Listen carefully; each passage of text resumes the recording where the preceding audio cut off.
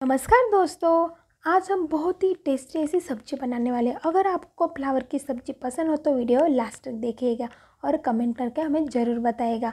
आज हम restaurant style flower की सब्ज़ी देखने वाले हैं। अगर आप हमारे चैनल पर नए हैं तो चैनल को लाइक और सब्सक्राइब करना ना भूलें और बेल आइकन ज़रूर प्रेस करें। यहाँ पे हम सबसे पहले कढ़ाई लेंगे। कढ़ाई में हमें ऑयल डालना है। दोस्तों, हमें यहाँ पे ज़रूरत के हिसाब से तेल डालना है क्योंकि हमें यहाँ पे फ्लावर को हमें तेल में फ्राई करना है।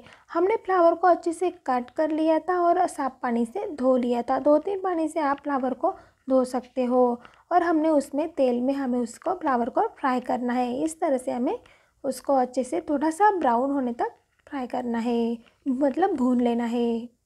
दोस्तों, हमें फ्लावर को उबालने के लिए इसमें पानी ऐड नहीं करना है। हमने अच्छे से उसको फ्राई भून लिया है। अब हम उसको निकाल लेंगे। अब हम उसी तेल में जीरा डालेंगे। जीरा डालने के बाद हमें उसमें सरसों डालना है। सरसों को अच्छे से भून लेने के बाद हमें उसमें प्याज डालना है। प्याज हमने एक लिया है। एक प्याज काट करके हमें उसमें डालना है और प्याज और हमने बाकी चीज़ों को भून लेना है। अब हमें अदरक लहसुन का पेस्ट डालना है। अदरक लहसुन का पेस्ट डालने के बाद हमें उसमें टमाटर ऐड करना है।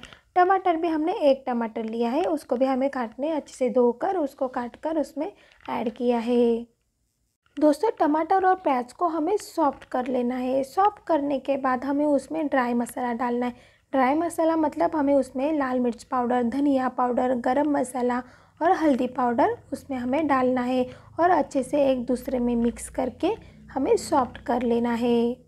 तो मसालों को तेल छूटने के बाद हमें उसमें हमने जो फ्लावर को फ्राई किया था, भून लिया था, वो उसमें ऐड कर देना है और एक दूसरे में मिक्स कर लेना है। दोस्तों, ये सब्ज़ी बहुत ही टेस्टी लगती है और बहुत लाजवाब बनती है और इसकी खुशबू भी अच्छी आती है, कलर भी अच्छा आता है। हम अक्सर फ्लावर को बॉईल करके ही हम सब्ज़ी में डालते हैं। लेकिन यहाँ पे हमने वैसा नहीं किया है। हमने इसको खाली ऑयल में भून लिया है। अब हमें इसमें स्वाद अनुसार नमक डाल देना है और एक दूसरे में मिक्स कर लेना है। तो थोड़ा सा स्वाद बढ़ाने के लिए हमें उसमें कस्तूरी मेथी डाल देना है। हमें ज़्यादा मस्त कस्तूरी मेथी नहीं डालना है तो हमें थोड़ा ही उस, उसको डालना है। अब यहाँ पे हमने जो बेसन का पानी है, वो डाल दिया है। बेसन को हमने भून लिया था और उसको पेस्ट बना लिया था। ये बेसन डालने के बाद वो ग्रेवी बहुत ही अच्छी बनती है और टेस्ट भी बहुत अच्छा आता है। अब हमें इन चीज़ों को एक दूसरे में मिक्स करके थोड़ी देर के लिए पकने देना है। इस तरह से हमारे तेल छूटने तक हम उसको फ्लावर को पका लेंगे। आप देख सकते हो दोस्तों, हमारा तेल छूट चुका है। अब हम उसको थोड़ा देर और पकने देंगे। दोस्तों, हम ये सब्ज़ी टिफ़िन में भी दे सकते हैं। बच्चों को भी बहुत पसंद आता है। अगर बच्चे फ्लावर खाते हैं तो ये सब्ज़ी बढ़िया है।